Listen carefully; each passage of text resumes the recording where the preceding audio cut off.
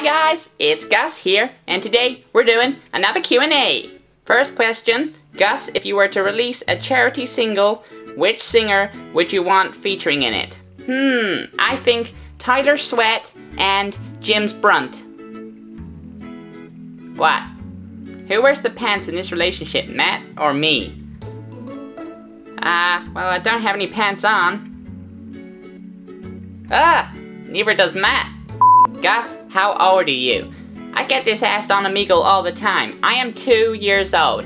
Coming up to three years old in January, okay? Matt, who is your favourite rapper? Uh, probably Cadbury's Dairy Milk rapper.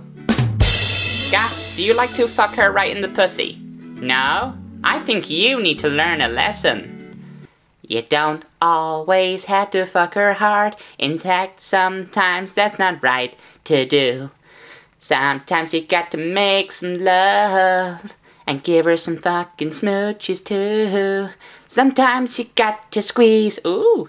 Sometimes you got to say please. Sometimes you got to say hey.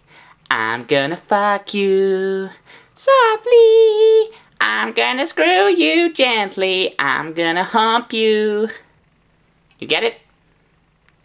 Gently. Matt, what's 9 plus 10? Come on. 23. What's the worst thing about Matt? The worst thing about Matt is he's Matt.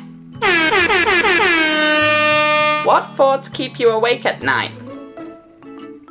This question. This damn question. Gus how much dick do you suck for a Klondike bar? Hmm, about this much dick. Uh, please kiss Matt. Well, you got some weird shit going on, haven't you?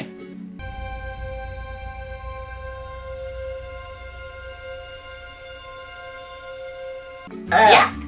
Okay guys, that's all the questions for today. Leave your question in the comments below, and we will answer them in the next video. Okay, hope you liked the video. Like, comment, subscribe. Bye!